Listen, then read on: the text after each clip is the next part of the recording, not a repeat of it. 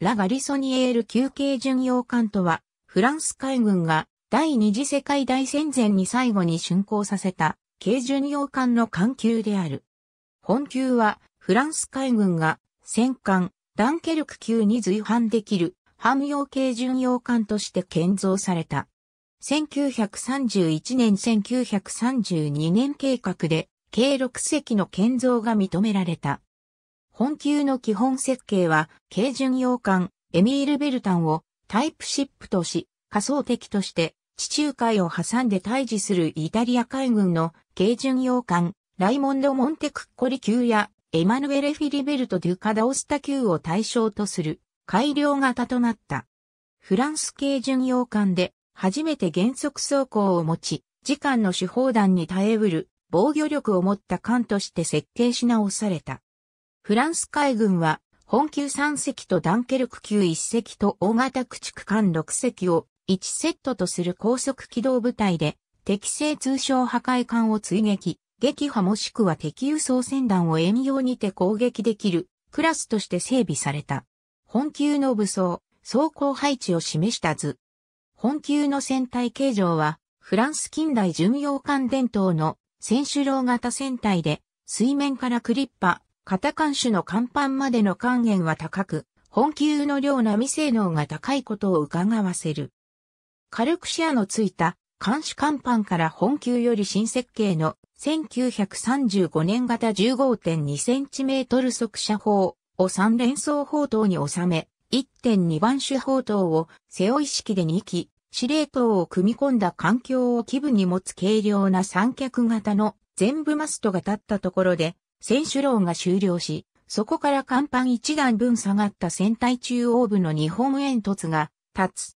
日本煙突の間隔は広く取られて、間に関西艇用周クレーンが片弦1機ずつ、計2機あり、その左右が関西艇置き場となっている。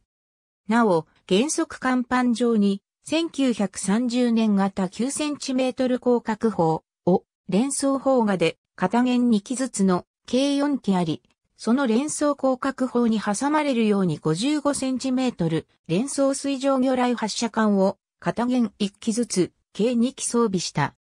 2番煙突の背後に箱型の水上規格農庫があり、屋根から簡素な短脚式のミズンが生え、その左右には水上機用周クレーンが計2本生える。水上規格農庫のシャッターは3番手砲塔に向かって左右に別々に開く。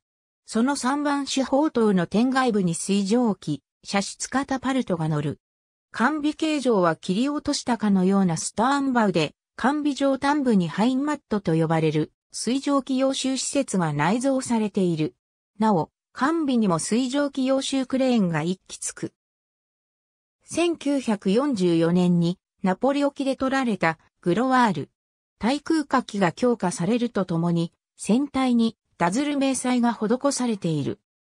1943年にグロワール、ジョルジュレグ、モンカルムは 13.2mm 連装機銃すべてと水上機施設と後部マストを撤去し、ボホース 4cm4 連装機関砲6機とエリコン 2cm 単装機16機を追加して対空火器を強化し SASF 型レーダーを搭載した。手法はエミール・ベルタンより引き継ぐ1935年型 15.2cm 速射砲を採用した。性能は重量54から 58.8kg の砲弾を最大行角45度で26,960メートルまで届かせることができる。この砲を三連装砲塔に収めた。不要能力は行角45度、深角10度で、装填角度は深角5度から行角15度の間である。旋回角度は船体守備線方向を0度として左右150度の旋回角度を持つ主砲身の不要、砲塔の旋回、砲弾の溶弾、装填は主に電力で行われ、補助に人力を必要とした。発射速度は毎分後から8発である。広角砲は1926年型 9cm 広角砲を全球に引き続き採用した。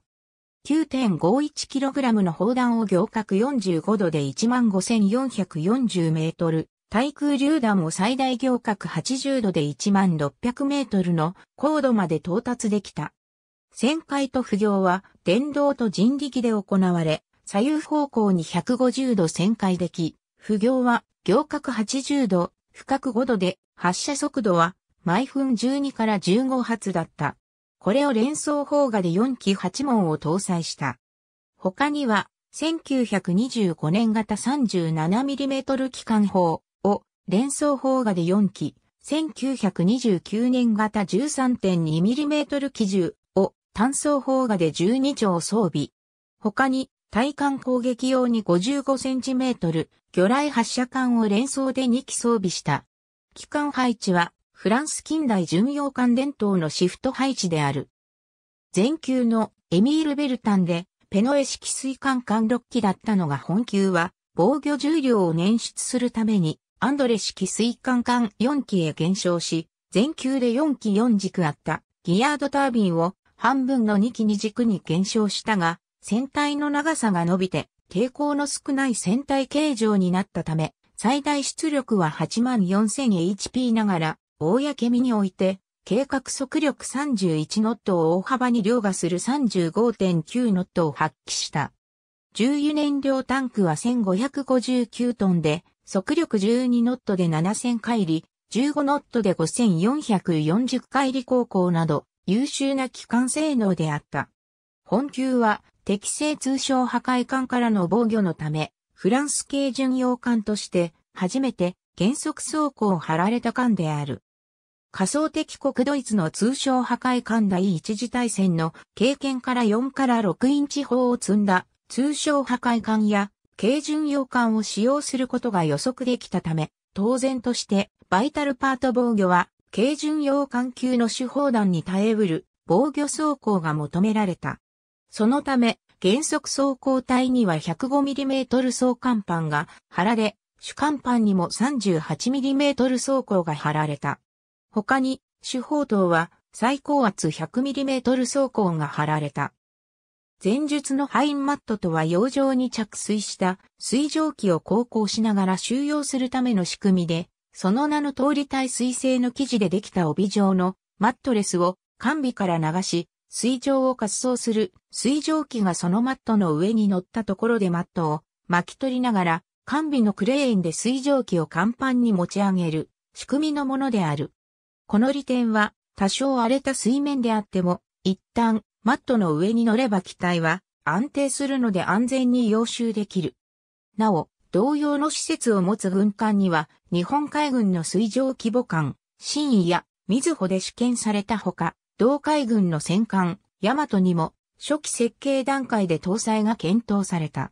ウィキメディアコモンズには、ラガアリソニエール休憩巡洋艦に関するカテゴリーがあります。ありがとうございます。